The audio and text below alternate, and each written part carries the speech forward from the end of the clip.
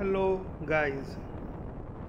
So when you are working in offshore while commissioning you have one accommodation barge office barge which is connected with the bridge to the platform.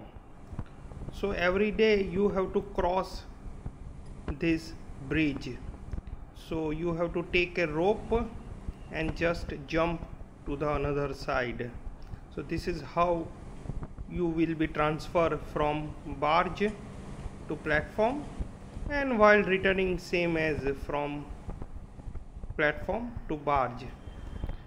But you can see this bridge is fixed to the platform and this barge is a floating barge.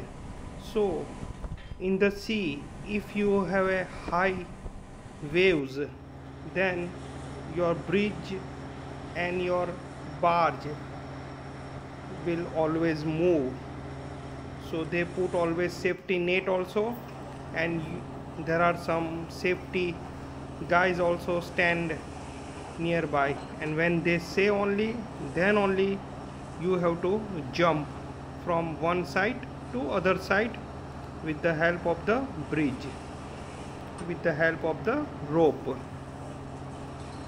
so you can see how much this barge is moving floating. You can see that bridge is going up and down. So people are standby. Whenever this safety guys are telling then only you have to jump with the help of the rope. That is what.